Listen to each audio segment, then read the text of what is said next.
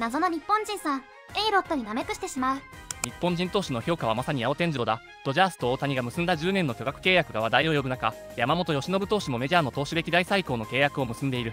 その他今永も4年77億円の契約と日本人投手の評価はとどまるところを知らない。そんな中日本人投手冬の時代でメジャーでプレーした投手に注目が集まっている。クリーブランドインディアンズに2004-2005年に在籍し15登板そのうち先発は4で1勝1敗で勝率は500防御率は4.47の成績。誰やこれ。レジェンドただの。ただのがメジャーで投げてたのってこれもう20年前なんか。時代早いな。エイロットに舐めくした日本人。冷静にエイロットってガチのレジェンドやからな。今でいうトラウトみたいなもんやろ。お薬あってなければ一発殿堂入り確定だった。何回見ても舐めくで笑う。ちょっと日和って日本時代のスローボールよりも控えめやろこれ。後にも先にもこんなことできるやつなかなかおらんただのがスローボール投げた人一覧。アレックスロドリゲス松中カブレラ松田中島ガルシアシーボル福浦里崎哲平小笠原エイジェイ豪華な顔ぶれだね。にっこり。大物ばかりじゃないか。驚愕。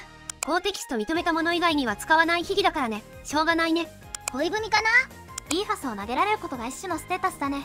最初の3年くらいは外人ばっかだったような。ホモは面くらい。大物ばかりじゃないか AJ にイーファスト投じた結果意味深な含み笑い。AJ ちょっとビビってて笑った。一流選手だからこそイーファスに惑わされるという不調。ただののメジャーでの主な対戦。VS アダムダン。4打席。